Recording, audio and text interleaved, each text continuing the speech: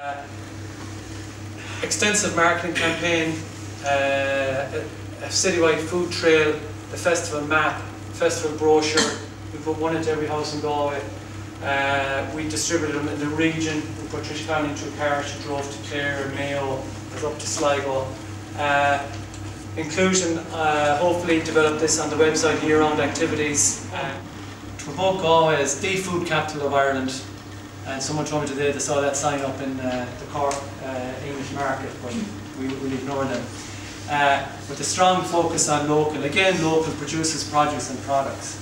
I deliberately use the word products there because we work with the Enterprise Board and others who want to uh, develop uh, the related activities, including like the food trips and the day trips, uh, the Canucks